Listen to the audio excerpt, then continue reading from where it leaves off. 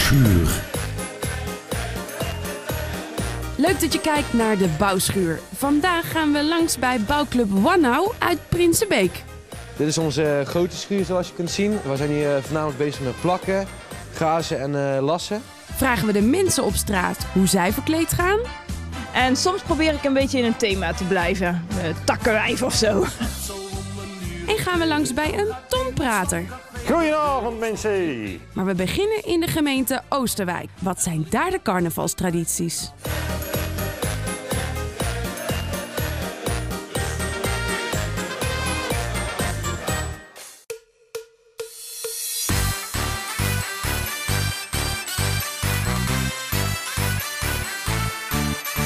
U bent inmiddels te gast in, eh, in Oosterwijk. Oosterwijk beter bekend als Dullekenschat in carnavalstijd. Ik ben Johan van Helvert, penningmeester van het samenwerkend Oosterwijks Carnaval. En ik probeer u vanmiddag een beetje inzicht te geven in hoe Oosterwijk carnaval viert. Het Oosterwijks carnaval is oorspronkelijk ontstaan in 1961 als jeugdcarnaval. Vanaf 1967 is formeel de stichting Openbaar Carnaval in het leven geroepen. En als we dan kijken van 1967 tot heden, betekent dat wij volgend jaar ons 44 jaar carnaval vieren. Ik heb hier meegenomen twee eekhoorns. Eekhoorns zijn voor ons heel belangrijk tijdens carnaval. Zij uh, staan op alle, alle carnavalsuitingen. Kom op konijntje, doe het een beetje vlug. Kom op konijntje, doe die vingers op je hoofd. In Oosterwijk hebben we met carnaval ook een, een logo. Het logo bestaat uit de mastendol, het dulken, een mastappel, beter bekend in het Nederlands, geflankeerd door onze twee eekhoorns.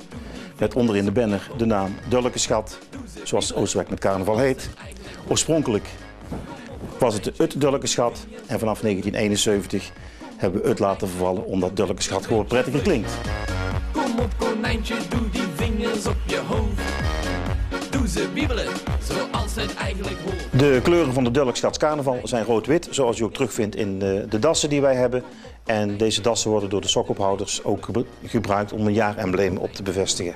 Als uh, samenwerkend Oosterwijks Carnaval organiseren we natuurlijk rondom carnaval een aantal activiteiten. Dat begint uh, zo half januari met onze uh, Sauwel- en Galenavond, beter bekend in Brabant als Tonpraten.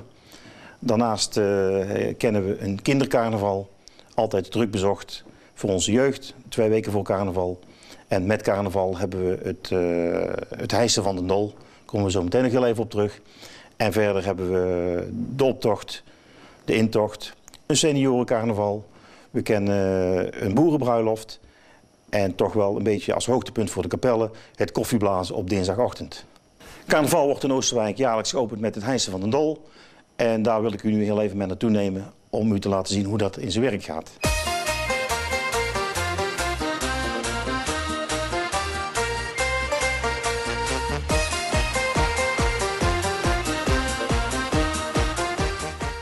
Dol is typerend voor het Oosterwijks carnaval. De dol hangt uh, gedurende de carnavalsdagen aan het raadhuis. En als blijk van dat de stadsprins regeert en niet de burgemeester. De dol wordt gehesen nadat de prins en ook de jeugdprins zijn stadsleutel in ontvangst heeft genomen. En tijdens het hijsen van de dol, wat ik u zo meteen even voor zal doen, wordt het Oosterwijks volkslied gespeeld. En door de meesten gewoon ook meegezongen. Nou, tijdens het hijsen van de dol gaat hij naar het hoogtepunt van het gemeentehuis in Oosterwijk. En op het moment dat hij boven aanbeland is, dan wordt het licht aangesloten. En op dinsdagavond, 12 uur met carnaval, we hebben alle sleutels weer netjes ingeleverd bij de burgemeester. Doen we het licht uit. En dan laten we de dol weer zakken.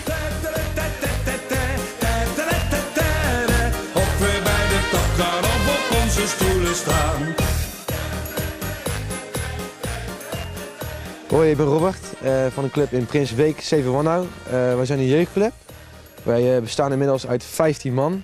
de afgelopen twee jaar hebben wij gewonnen in de kinderoptocht. Volgend jaar maken wij de stap naar de grote optocht, de B-categorie. En ja, ik ga nu eventjes wat mensen voorstellen en ze eens even een kijkje gaan nemen in de bouwschuur. Dus ik zou zeggen, loop maar eventjes mee.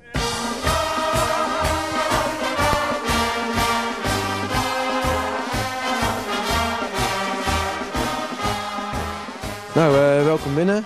Dit is onze grote schuur zoals je kunt zien. We zijn hier voornamelijk bezig met plakken, gazen en uh, lassen. Dus ja, hier hebben we Stijn. Eh, Stijn eh, die is hier aan het plakken, bruin aan het plakken. Hoe lang zit je al bij ons in de club, Stijn? Ik zit al vanaf het begin bij, eh, in deze club. Het is al eh, zes jaar. Ja, zes jaar. En dan, eh, ja, voor eh, Stijn is hier aan het bruin plakken. Dat, eh, voor het bruin plakken gazen wij eerst met eh kippengaas. Dat is Jeffrey hier aan het doen. Jeffrey, eh, vertel eens eventjes hoe jij eh, hier te werk gaat. Ehm, ja, je moet een stuk gaas op maat knippen. En dan vervolgens ja, het vormijzer heen doen en een puntje omvouwen. En dan zit het gaas vast. Oké. En dan, ja, eventjes kijken of we kunnen vinden. Eh, dit is Kevin, die is ook aan het plakken. Kevin, jij eh, zit eigenlijk nog niet zo heel lang in de club. Wat vind je eigenlijk van onze, onze club? Ja, gezellig. eh, lekker met z'n allen een beetje plezier maken. Dus. Ah, dit is eh Jesse.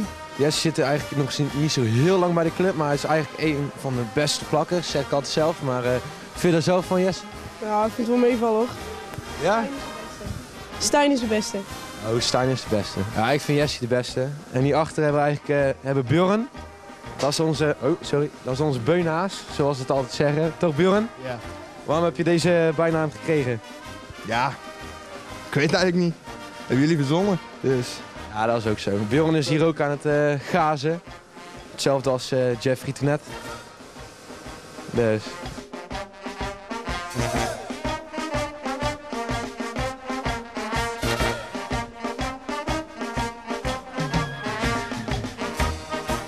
We zullen nu ook wel eens even aan Jessie vragen wat eigenlijk het geheim is van het goede plakken. Jessie, waarom kan je eigenlijk zo netjes plakken? Waar, waar ligt dat aan en ja, hoe doe je het? Eh, we moeten vooral eh, kleine stukjes en eh, rustig aan. Niet te snel, niet te grote stukken, want dan gaat het allemaal hangen. Het ziet er niet uit. Eh, hierachter zijn we aangekomen bij de paptafel. Dat is eigenlijk de behanglijn die wij op het papier smeren. En dit zijn onze twee ja, onze hoofddanseressen. Eh, ja, hoe komt het eigenlijk dat wij door jullie mooie show de afgelopen twee jaar hebben gewonnen? Eh, Oh ja, Pleun. Dit is trouwens Pleun. ik ben Pleun. Ja, gewoon een mooie show, dat is heel belangrijk. Mooie kleren. En als het er allemaal leuk uitziet, dat is belangrijk. Vind je dat ook, eh, Gina? Ja, het is belangrijk om een één geheel eh, ja, te hebben, zodat je weet dat je bij elkaar hoort. En eh, ja. Leuk, ik vind het altijd heel mooi eruit zien. Dus, eh.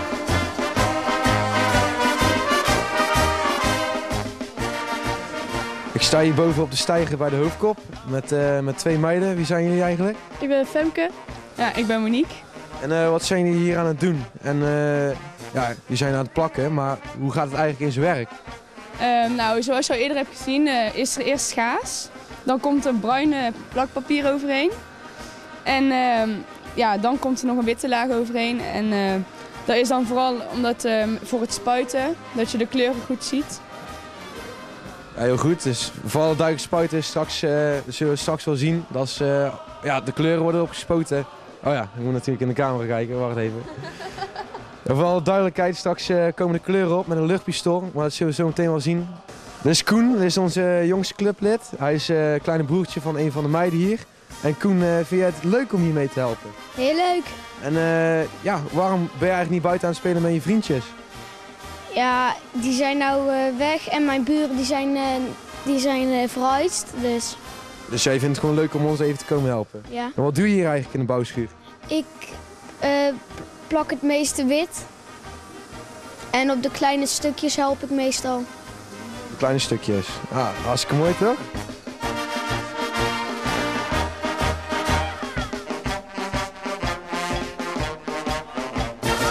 Er is nog een eh, clublid voor ons binnengekomen. Hè? Eh, zijn naam is Rick. Rick, waarom ben je eigenlijk zo laat? Ja, ik moest nog werken, dus ja, dat ging voor hè. Ja, dat gaat altijd voor natuurlijk. Maar ja, wij vinden eigenlijk dat de carnavalsclub voorgaat, maar jij niet. Ja, ja, je moet ook wel wat geld verdienen, hè? anders kan je, anders kan je het café weer niks drinken. Ja, daar heb je ook wel gelijk in.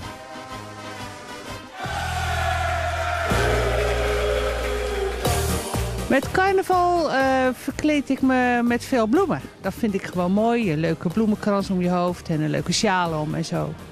Van alles en ook wat eh, hippie.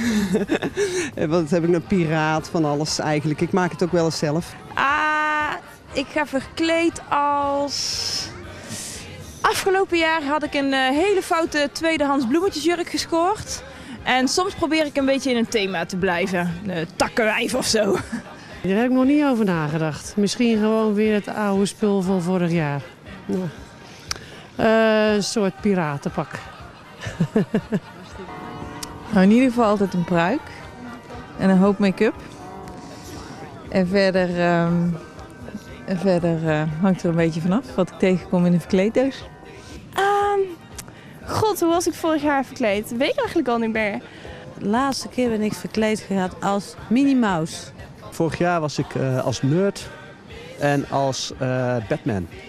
Eh, eh, ik had een zilveren legging aan. En een rokje en nog een pantertruitje. En ik ben een keer in monkeykleren geweest. En wat ben ik verder? Verder weet ik niet. Een bunnypak. Volgens mij als poes. nee, ik weet het echt niet meer. Eh, met van die oortjes en zo'n jurkje gewoon. En hakken.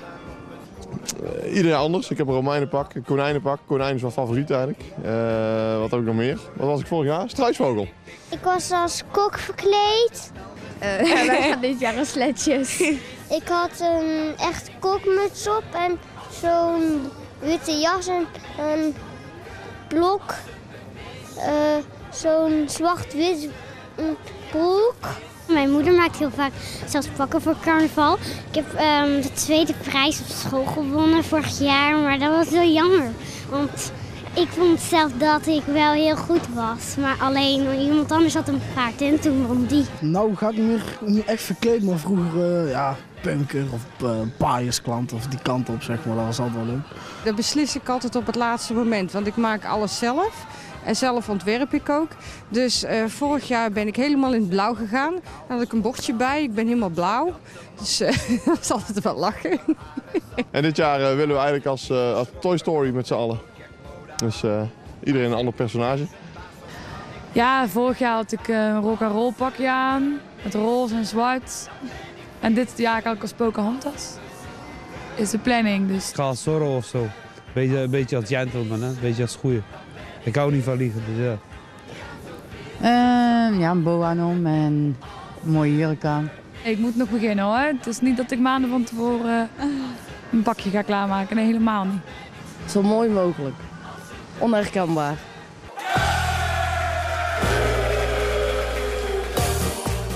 Nou, iedere stad heeft zijn eigen naam. Maar welke stad heet Klotland? De antwoord ziet u na de reclame. Dan moet je niet Oké, nou even- jeuken. En nou even recht. Ja. En Stijn, die uit even. Dat is Jij moeilijk, jongen. moet ervoor gaan zorgen Ja? dat de mensen thuis blijven kijken. Dus zeg het lekker enthousiast. Ja. Nou, iedere stad heeft zijn eigen naam. Maar welke stad heet Klotland? Het antwoord ziet u na, hoort u na de reclame.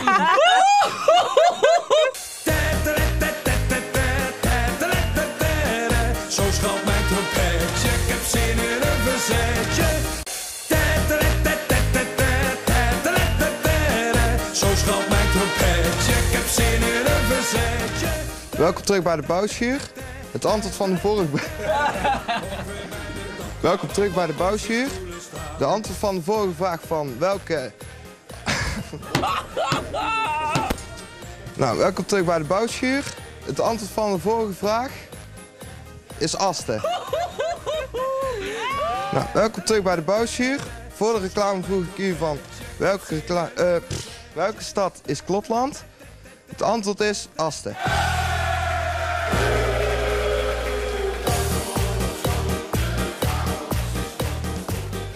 We zijn hier aangekomen bij eh, Martijn. Dit is onze constructielasser. Martijn, waar ben je nu aan bezig? Ik ben nu bezig met eh, de bar eh, aan het bouwen, dat is de trekroombouw. Ja? Zoals je kan zien, eh, zie je hier de bar. Daar komen mensen aan te zitten, zeg maar, zodat, ja, zodat het echt lijkt dat het de bar wordt. Komen die dan op die plankjes te zitten? Ja, en die gaan dan zeg maar als ware zwaaien, zodat de mensen ze goed zien en dat ze een beetje opvallen. En daar eh, bovenop komen daar ook nog mensen te staan. Er komen, ja, er komen een paar meisjes te staan, net als in, in de echte bar. Daar komen de... De kan-kan-meiden waren dat, toch? Ja, van die korte rokjes aan, hè, zo, dat weet je allemaal wel. Oh ja, oh ja die ja. Maar en dan hierachter, eh als, eh, afmakertje, even een man met de piano aan het spelen. Die zorgt voor de goede muziek eh, bij de saloonbar.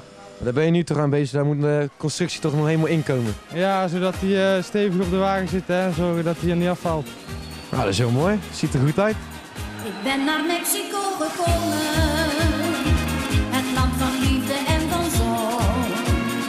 Het was in de schaduw van de bomen, dat net als in dromen een sprookje begon. Ik was daar op een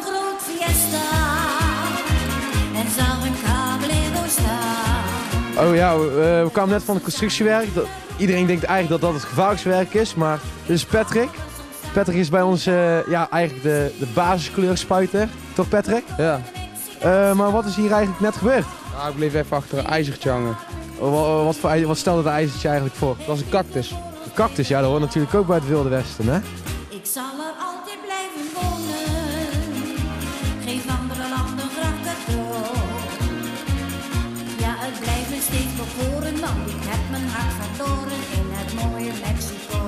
Eh, ik ben zelf degene die eh, alles ontwerpt.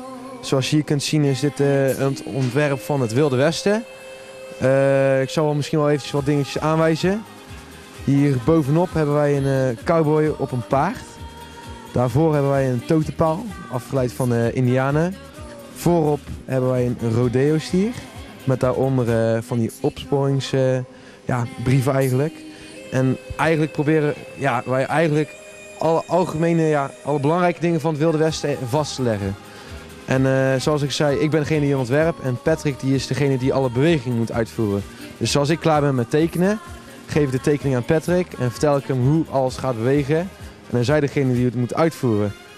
En eh, ja, Patrick, hoe, ja, hoe doe je dat eigenlijk? Ja, gewoon eh, een beetje gaan nadenken van hoe kan het allemaal en hoe is het mogelijk. En dan eh, gewoon een beetje gaan zitten verzinnen en dan proberen. En als dat lukt, ja, dan heb je geluk. En in welke materialen gebruik je daar meestal voor? Ja, gewoon meestal eh, gewoon elektromotors. En dan verschillende, verschillende soorten.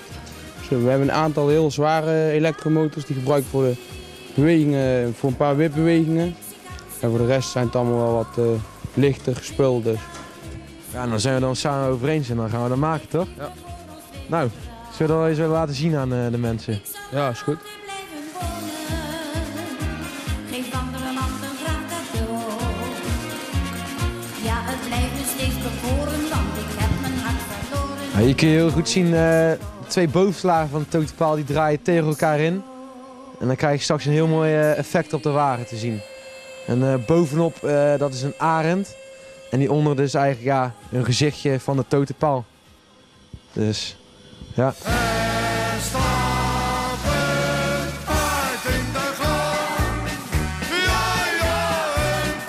Eh, de totenpaal die we net hebben gezien, dat is eigenlijk vrij simpel om allemaal te laten bewegen. Maar zometeen, eh, zoals je hier ziet, eh, sluiten we weer alles weer aan.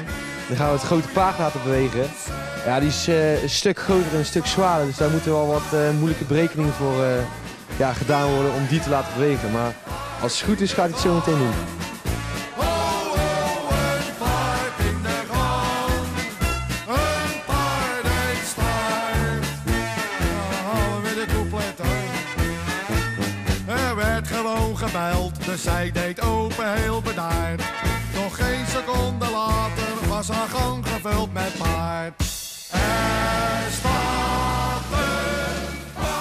Ja, hier is onze eh, Jeffrey. Ja, zijn bijnaam is Dikke Vis. Die is even eten halen. Hoeveel pizzas heb je gehaald, Jeff? Eh, volgens mij waren het tien. Zijn dat er wel genoeg voor vanavond? Nee, we mogen vanavond nog even naar de McDonald's. Oh ja, ja, zo gaat het eigenlijk elke avond bij ons in de, in de kerstvakantie, toch? Ja, zoiets wel, ja. En dan smiddags nog even wat oliebollen en eh, van alles wat, hè. Ja, lekker vet, hè? Ja, van hard werken krijg je honger. Ja, zo is het. Dat zien we wel.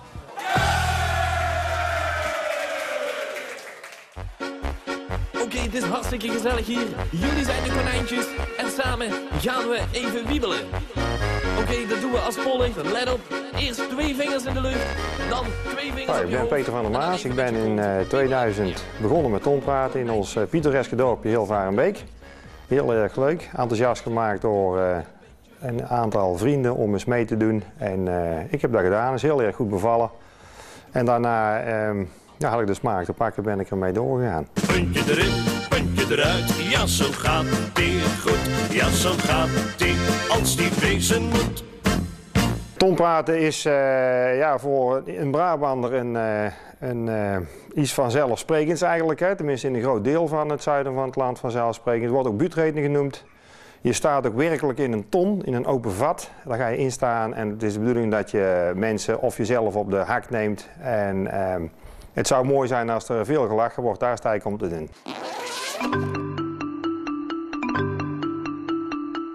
Een goede tonprater is iemand die het publiek weet te boeien, die eh, bij voorkeur origineel is, dus leuke, leuke spitsvondige grappen vertelt.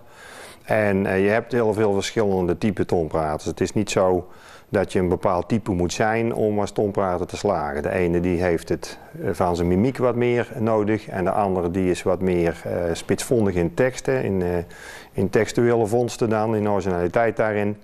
Woordspelingen, die maken dan de buurt leuk. Dus je hebt, daar, je hebt daar verschil in. Maar ja, je bent een goede tonprater als je publiek weet te boeien en als je ze vaak kunt laten lachen. Daar gaat het om.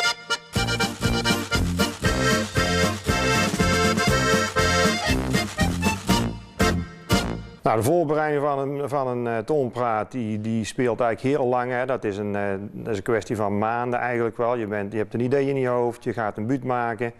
En vervolgens uh, werk ik samen met Jasper van Geren, ook uit mijn dorp, die ook een hele goede tonprater is. Ad Vermeulen uit Kaam, een eindje verderop. Met name wij met drieën kijken dan van wat hebben we nu aan materiaal en hoe zouden we dat nog beter kunnen schrijven, zodat het in de zaal ook nog, nog beter overkomt. Peter en ik gaan samen met Ad geregeld over uh, teksten buigen. In discussie, wat is leuk, wat is niet leuk. Ik heb daar een klein beetje ervaring in, omdat ik zelf ook uh, geregeld op mag treden. En uh, dat ook met heel veel plezier doe. En het is heel leuk om met collega's samen teksten beter te maken en optredens beter te maken. Inspiratie haal ik van, van, van straat, uh, dingen die ik hoor op het werk, van mijn kinderen, uh, overal vandaan. We zaten bijvoorbeeld een keer met tijdens heel mistig weer in de auto en ik zei tegen mijn vrouw van het is wel heel mistig. En achterin de auto zei een van de kleine kinderen van ik zie niks. Nou, dan is een grap al geboren, dat bouw je dan uit en op die manier gaat dat. Puntje erin, puntje eruit, ja zo gaat het goed, ja zo gaat het goed, ja zo gaat goed. Puntje erin, puntje eruit, ja zo gaat het goed, ja zo gaat het als die wezen moet. Voor een goede voorstelling heb je ja, je goede zelf je voorbereiding nodig. Hè? Dus ik zorg altijd dat ik lekker opgepept uh, de, de ton in ga, dat ik er zin in heb. Ik vind het ook heel leuk om te doen, dus dat lukt bijna altijd. En voor de rest is het van belang dat de zaal leuk ingericht is, dat er een mooie ton staat, dat het geluid goed is, dat dat ook goed overkomt. En uh, het publiek moet ook wel zin in hebben. Nou, ik heb wel tips voor beginnende tonpraters. Is in ieder geval van, ja, doe niet alles zelf, dat hoeft ook niet. En als een keer een optreden wat minder loopt, ja, later moet niet zakken, maar geniet gewoon van je hobby, want het is echt kei leuk om te doen. Goedenavond mensen! Ik ben nou aan het schilderen en als zei, als je gaat schilderen moet er wel een reclamebord ophangen. Dus ik heb hier een uh, bord gemaakt. En uh, ze zegt, je moet er ook jouw uh, telefoon wel op zetten. Dus dat heb ik gedaan. Hè?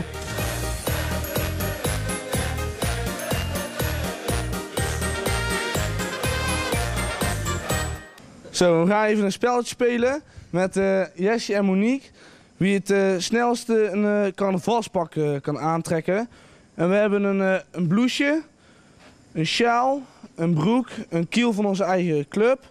En een pak waar we vorig jaar met de optocht aan hadden. En dan het spelletje is wie het snelste een carnavalspak aan heeft. En wat voor pak zou jij het liefst aan hebben? Met carnaval? Of nee? Nee, nu. Het, uh, de witte broek en het, uh, de, met de blouse en de sjaal. En jij, Jessie? Ja, ik doe het zwemvest aan, het zwempak. Met... Nou, oké. Okay. Ik ben benieuwd. 3, 2, 1, 0. Ja, dat is lastig, Jessie, zo'n uh, krap zwempakje. Monique loopt al een stuk verderop. Monique is al bijna klaar. Monique moet de sjaal nog aan, vind ik. Dan heeft Jessie nog een beetje kans om te winnen. Uiteindelijk is Jessie het snelste klaar, vind ik. Want de blouse moet natuurlijk wel dicht zitten, hè? Want anders... Nee, nee, Jessie die heeft gewonnen. En dan zal ik even zeggen wat de prijs is. Jij mag het programma gaan afsluiten.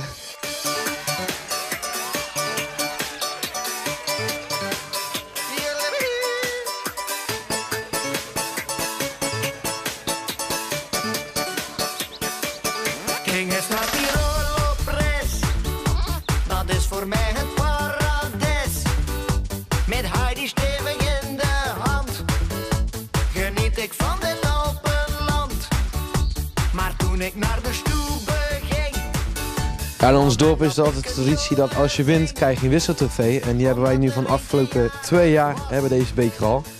Dus eh, ja, hij is niet echt goed aan toe, want met carnaval heeft iedereen wel eens een biertje op. En dan laat je hem wel eens vallen, dus er zitten een paar stukjes uit, hij is lekker scheef. Maar wat wel leuk is, is, ik weet niet of je het hier kan zien, de afgelopen twee jaar staat onze club erop. Want wij hebben de eerste prijs gewonnen, dus hopelijk gaan we voor dit jaar weer voor de winst. Maar dat weten we nog niet zeker.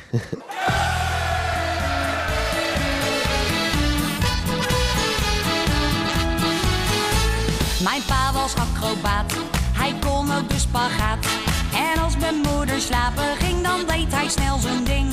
Mijn opa had een broer, dat was een schoppenboer. Dat broertje werd een mooie meid en was meteen iets kwijt. Maar wat, maar wat, ik wou dat ik het had.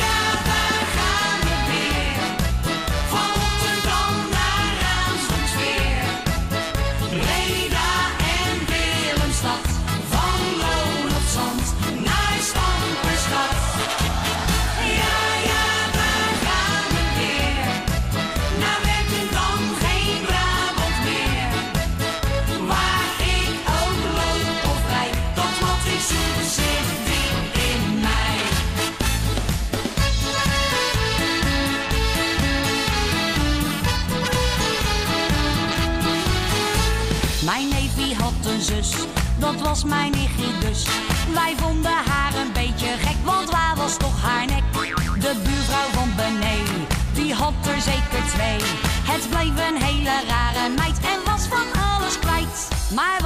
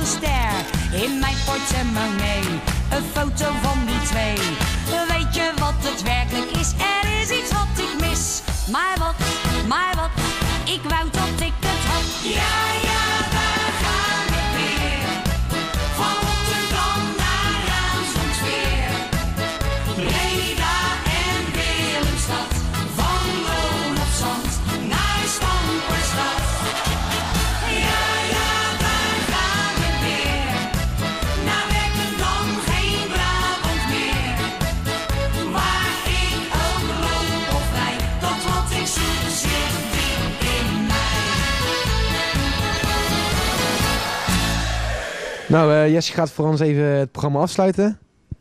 Nou, eh, jullie hebben vandaag een kijkje mogen nemen in de bouwschuur van CV Wanhou. En wij lopen op zondag met carnaval met de optocht in Prinsenbeek mee. Dus als u wil komen kijken, dan eh, kan er altijd. En nou, we vonden het leuk dat jullie hier waren. Bedankt voor het kijken. En goed uit ook.